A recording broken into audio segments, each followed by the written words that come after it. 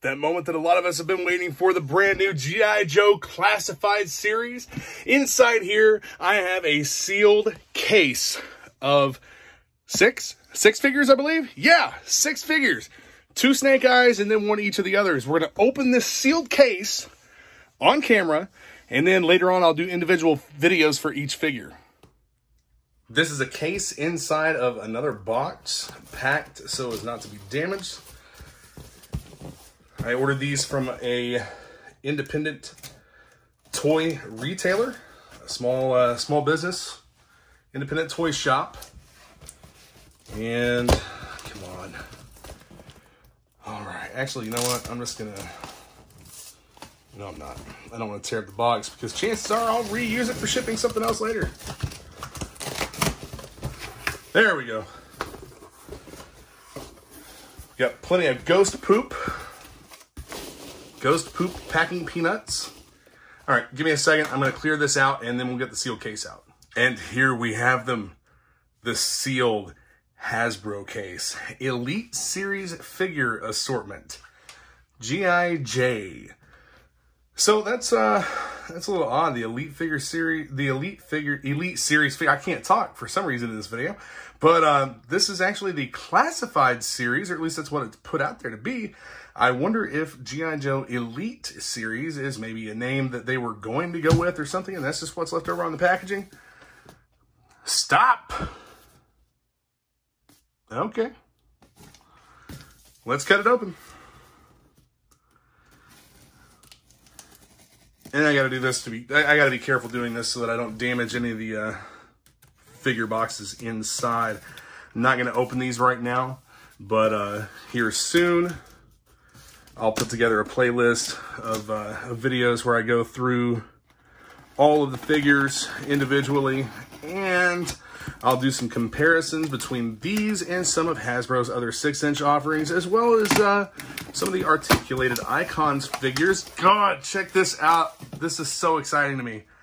This is the first time, uh, the first time uh, in many, many years that I have gotten to open a sealed case of, uh, of action figures, of G.I. Joe figures.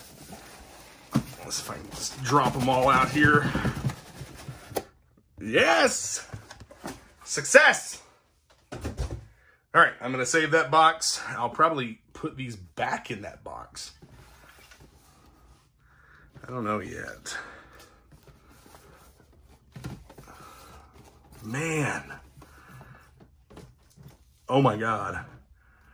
Okay, let me reposition the camera and then we'll check them out. In this Wave 1 set of figures, we have Scarlett, Duke, Destro, the new recolored version of Snake Eyes. This is the same mold and comes with some of the same accessories as the uh, Hasbro Pulse exclusive Snake Eyes. I still haven't figured out exactly what's up with these guns and why they look so weird. I do see that the suppressor that he, uh, the, the classified, there, I'm sorry, that the Hasbro Pulse exclusive figure came with does come with this figure as well. And I'm assuming will attach to the pistol and, uh, well, let's say it only attaches to the pistol. It doesn't attach to the subgun. It's still very strange, the, uh, the holes in those weapons. It makes me wonder if you can't attach those together with the suppressor somehow or something. That, that would be very strange. I'm not sure why they would do that. Each of these figures features artwork on the box from a different artist. And then, of course, you have this fantastic uh, mural on the back. Um, we'll get into Wave 2 in a bit. I was actually going to talk about Wave 2. But, um, all right, here is the Snake Eyes figure at least one of these is going to get opened up and compared to the, uh, actually, I may not open it. I, I haven't decided what I'm going to do yet. I'm, I'm still thinking on that.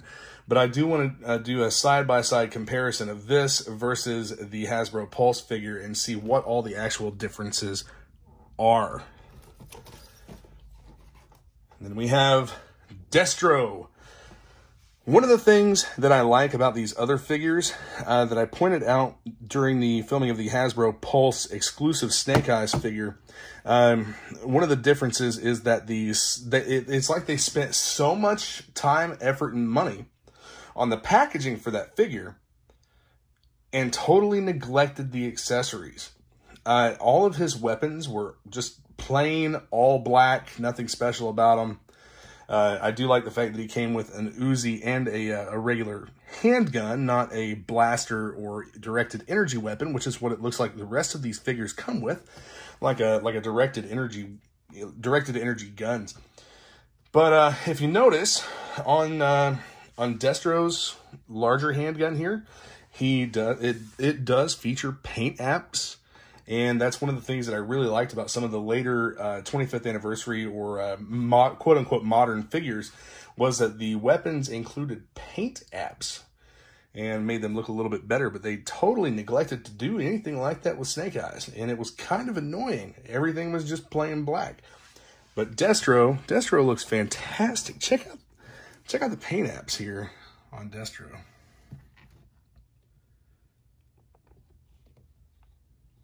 When I decide whether or not I'm going to open these, that's when we'll really get a good look at them. But everything looks really, really good on these figures. Okay, now we have Duke. Some people were complaining about the uh, the way the gold paint app, the metallic paint apps looked. I dig it. You know, this is like a, this is almost like an M4 or M16. It'd be an M4, but it's a, a futuristic directed energy weapon. And the uh, the handgun that he comes with almost looks like a Walther. And he comes with a uh, a pouch. I'm not sure exactly what that is. Maybe binoculars or something, or a monocular. But um, the sculpting and everything on this figure looks fantastic. Uh, you know, paint is something that if you don't like, you can change that. You can uh, you can paint over it or whatever. Um, I'm not sure if it's the way the leg is positioned in the packaging, but it looks like that leg might be twisted out just a little bit. There are a couple things that I really, really like about this type of packaging. It displays the figure very, very well, but at the same time, I think that the vacuum forming can cause de deformation of the plastic.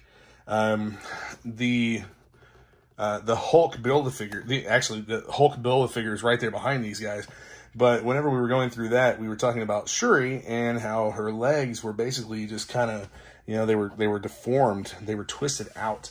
And I believe that that is from the packaging, not from the actual manufacturer of the figure. I hope that's not the case with these. I really want to get one of these out and check it out for the uh, the quality and see just how it is we when we looked at the um, uh, Hasbro Pulse exclusive Snake Eyes, the quality of that figure was fantastic. Uh, even like the paint apps and everything looked great on him. So here's the artwork on the, oops. Here is the artwork on the front and the side. All of these are numbered as well. You see this is number 04. The Hasbro Pulse exclusive Snake Eyes was uh, number 00 and Roadblock is number one. Snake Eyes is number two. Destro is number three. So here is the exclusive artwork for that figure, and then you have the mural on the back. What's on the bottom? Nothing of any value. Awesome. Okay, here we have Scarlett. That is a damn good looking figure. I, I really am impressed with it. Uh, the sculpting and everything on this figure looks great. I'm going to zoom in on her face. Maybe. Ah, come on. It's not one to focus for some reason. I'll get better shots of it.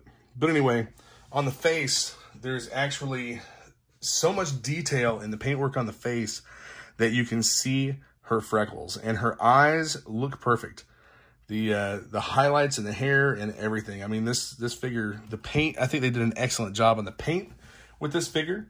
Uh, this GI Joe team is very futuristic. I, I'm curious as to whether or not they're going to put out a cartoon or something, uh, some other kind of media to support the release of these figures, and or if they're just marketing them toward uh, toward guys like me, you know, late 30s, early 40s, whatever. Um, just depending on us. I know that there's a lot of people that have said that they have joined the ranks of the uh, GI Joe collectors because they released six inch figures. Uh, there six. There's a lot of six inch figures out there, and those communities are huge compared to the GI Joe community.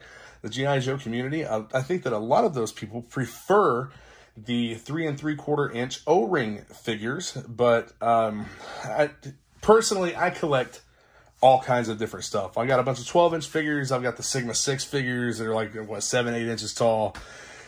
This really isn't a stretch for me. The only reason why I got into Legends figures at all was because I, these were coming out. And so, okay, so the G.I. Joe figures coming out in 6 inch scale actually prompted me to buy some other 6 inch scale figures the Marvel Legends figures. Uh, I assumed that they would be of similar build and quality uh, since they both come from Hasbro.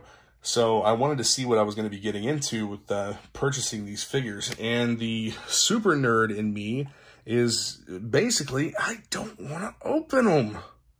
Man. I had every intention of opening every single one of these figures as soon as they came in and just keeping the boxes for display. I still want to open them, but yeah, just I, I don't know what I'm gonna do. I, what I'm probably gonna end up having to do is buy a whole other set of them. I'll probably end up buying another sealed case of them if I can find one, and uh, get my hands on them. Okay, so Roadblock is proportionately taller than the other figures, as he should be. There's a couple of things that I would like to mention about Roadblock and about the rest of these figures as well. Roadblock's outfit is an updated, modern, or fu- actually, it's an updated, futuristic looking version of the uh, outfit worn by the original Roadblock. The original Roadblock also came with a very big gun. Uh, this figure also comes with a very, a, very, a very big um, directed energy weapon. I'm a sci-fi fan. I like the directed energy weapons. I've seen where a lot of people have uh, had grievances with the directed energy weapons instead of them actually having real weapons. But if um, if you look back through the history of GI Joe, there was a lot of science fiction type stuff with those uh, with this whole the whole story altogether. So it makes a lot of sense to me that they would really embrace that with these uh, these new GI Joe classified series figures and go full on with the um, the science fiction realm of it. So his his outfit looks uh, very reminiscent of the original Roadblock figures outfit. And uh, something else that they did here that I really like, I like the look of it. They gave him a beard. They also gave some of these guys tattoos, but they gave him a beard. Check this out. They gave him a beard. So the uh, the version of Roadblock that was in my favorite GI Joe series, Renegades, had a beard a beard or sideburns. And they've uh, they've kept going with that, and I really like it. I think that it makes the figure look fantastic. The large tattoo over here on his arm, I don't really know exactly what that is, but um, you know we'll find out at some point. Uh, a buddy of mine actually opened one up and did a, a live unboxing of the figure that he picked up in a toy store not far from here. Uh, something that I've seen over and over again online is the expected release of Alley Vipers. If Alley Vipers come out, I'm going to army build them. I've definitely, you know, with um, some others that are supposed to be coming out, I kind of want to army build those too. And I'm not an army builder. I think these are the dopest dope. These are so cool to me. And I think that that probably has to do with the fact that it's just different, it's new, and it's G.I. Joe. I've loved G.I. Joe since I was a kid, and since I was actually like three or four years old is when I've got my very first G.I. Joe. And I fell in love then, and I've, I've never looked back. Uh, over the years, I've stopped collecting off and on uh, whenever things weren't really coming out and whatnot. But uh, I've I've been I've always been a lover of uh, of the GI Joe lore, the figures, everything about them uh, except the comics. I never really got too big into the comics. Um, I, I, was more into uh, Marvel superheroes and whatnot. But this is Roadblock, and I, I've got to say that I'm impressed with the look, the detail, and the uh, the overall image quality of these figures. Uh, can't really say much for the uh, build quality of them at this point, uh, except for the uh, Hasbro Pulse exclusive Snake Eyes. The quality of that figure was uh, was really really nice. Uh, this extra Snake Eyes that I have here, I'm probably going to send this off. Well, I'll actually leave that out of the video. This extra snake eyes may end up getting opened. I may open this one or uh, find somebody who's needing one, can't find them, can't get them, whatever. But even the detail on this figure, considering the fact that it's molded all in black, it's very reminiscent of the 85 Snake Eyes uh, minus Timber. Timber is one of the things that I, I among many others, hoped that we would be able to uh, have with this figure but unfortunately we did not get a timber. Uh, maybe in the future, if this line does well and they continue releasing these figures, uh, the, then we'll we'll get a timber. So now on to another topic of discussion: the mural on the back. So in the first wave, let me reposition here a little bit. So in the first wave, we had the Snake Eyes figure. I'm going to go ahead and consider the Pulse exclusive part of the first wave. So we get the Pulse exclusive Snake Eyes, and then we get this one, which is the retail variant. We get Duke, we get Scarlett, Roadblock, and Destro. Wave 2 has already been announced uh, through some retailers. Wave 2 will consist of the Red Ninja, Gung Ho, and Cobra Commander. Each case, I believe, comes with two Cobra Commanders. Um, let's. I, am actually not sure what comes in a sealed case. I know it's two Cobra Commanders, and then some variation thereof of Gung Ho and the Red Ninja. There is also a uh, leopard print gold head Destro that was supposed to be a con exclusive that we are supposedly getting as well. Uh, we know that conventions and whatnot are canceled right now due to the uh, the pandemic. Uh, at least a lot of conventions are. Not every convention, but I'm pretty sure the SDCC convention is canceled. The um, the Gold Head Destro, I believe, was supposed to be an SDCC exclusive. So if you pre-order from a certain uh, toy store, then he is uh, he is actually getting his hands on the Goldhead Destro. So he is selling them in sets of one, two, three, four figures. And that is all of Wave 2, including the exclusive. You have Gung Ho, the Red Ninja, and you have Cobra Commander. I'm going to see if I can get a few extra Red Ninjas just so that I can do whatever with them. First, I, I don't know why I want to army build these. It's so weird to me. Uh, wave 3 uh, is rumored to contain um, a, a, character that we don't see here on this mural on the uh, on the back of the box. It's rumored to contain a Zartan figure and movie figures. I'm hoping that Baroness is going to be one of those figures. Baroness, if she looks anything like the image here, will be an awesome figure. I'm also hoping that the Alley Vipers will be part of that movie assortment. And if you look back on Roadblock's artwork here, down low, you have him fighting off a group of Alley Vipers. And they're very, very reminiscent of the original 80s release Alley Viper they look very, very much like that Alley Viper. That figure in a six inch, I think that that figure in a six inch would be a, a hit, an absolute hit. I also want to see some regular Cobra Vipers. I want to see Cobra Troopers. I want to see everything in a six inch scale. Yeah, I do. I want to see them all in a six inch scale. Um, I've I've had many discussions with people over the last uh, couple months about whether or not uh, the six inch scale is going to do well, whether it's going to succeed, or whether it's going to fail. Uh, a lot of people seem to think that it's going to fail. And I'll tell you, it will fail if we don't support it. By all means, don't support it if you don't want it. You don't have to. You don't have to buy them. But I hope that it's a huge success. I hope that we get plenty of really, really cool six inch figures. I know that space is a big concern for a lot of people, and that's one of the things about this packaging that kind of is a benefit.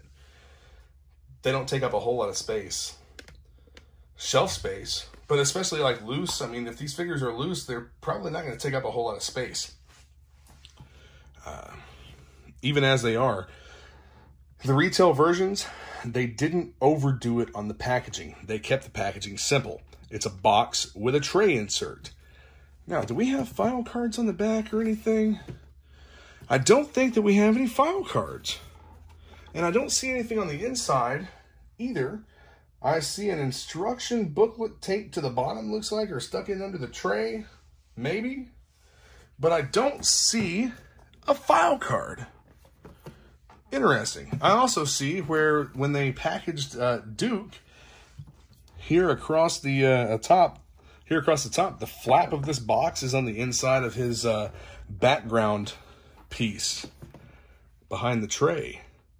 It's interesting that we don't have file cards that tell you anything about the uh, the figures.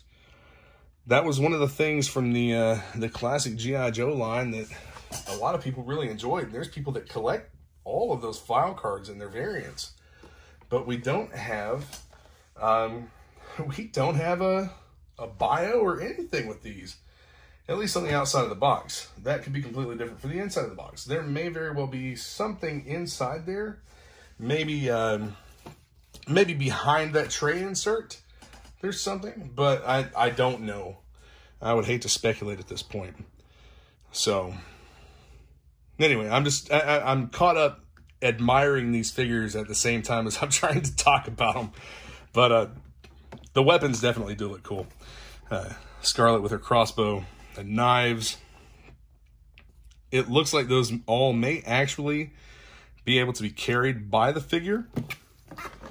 And Destro, I'm curious as to whether or not that briefcase opens up, and if it does, what is inside? Is it a laptop? And then Gung Ho with this big directed energy weapon. And the metallic paint just embracing that sci-fi aspect of G.I. Joe. Now, uh, another reason why I think that a lot of these figures uh, come with a, a, futuristic directed energy weapon type thing is that a lot of um, a lot of our mainstream media and a lot of our culture, uh, at least media wise and uh, and toy wise, they are starting to uh, push away from uh, from guns and perceived violence and whatnot with some toys. And you know, in some lines I can see that. In other lines I don't see it. So I mean, you kind of kind of just need to take it with a grain of salt and believe whatever you what whatever you want to believe based on what information you can find. Um, you know, you have plenty of uh, plenty of figures and plenty of toys uh, that are hitting the, the, the shelves in stores that are purely military toys with realistic looking weapons and whatnot. We know that the new Action Force, uh, the new Action Force figures from Bobby Valla, uh, those have very detailed, realistic recreations of actual firearms. Uh, I believe that he's also selling uh, uh, accessory packs and, and weapons packs and whatnot. Um, I need to. I, I, actually I need to get some of those Action Force figures pre-ordered so that I can have some when they come in and uh, get some videos going with those and do some comparisons uh, with the with the GI Joe figures. They'll they'll be the same scale, the six inch scale figures. Uh, one of the things about Destro, his head looks to be like a chromish silver paint. Um, I'm not sure how I feel about that. Eh, it's it's pretty shiny. Uh, the original Destro figure like this, uh, which this is very reminiscent based on the uh, original, uh, one of the original uh, Destro figures uh, in the character from the cartoon. he, uh, his, his, same type of uniform. I really enjoy the fact that they've done that with these figures. They've kept them looking very similar to their vintage counterparts. Um, but if you if you owned a Destro figure, you know that that head was chromed, and uh, sometimes you find those and the the chrome has worn off. There was also one that came out in like 1990. The head on that figure was actually just painted silver, not quite as uh, uh, shiny as that one but the head was just painted silver. And Snake Eyes, his uh, his visor was a little bit different color in the uh, ah, in the original 85 figure. And as, if you look here, it, it appears as though the figure that they're showing here on the back on the mural is actually the um, uh, Hasbro Pulse exclusive figure, uh, the way the paint scheme is on them and whatnot. So but yeah, very, very, very nice looking figures. I'm impressed. Uh, getting this case, I'm definitely going to buy more. I mean, I'm already committed to another uh, another wave. I might as well go ahead and uh, see if I can commit to more additional figures and, and maybe do some uh, some troop building and whatnot. Okay, thanks for joining me for the unboxing of that G.I. Joe Classified Series set of figures, the full Wave 1 unopened case. Uh, that was that was fantastic for me to get to open that up and check those figures out. Uh, be sure to hit the subscribe button. Stay tuned for more. I do have a lot more stuff to open up and show you guys and review and whatnot. Uh, some of the Hasbro uh, Ghostbusters figures with the Build a Ghost. As soon as the last figure comes in for it. All right, guys. Yo, Joe.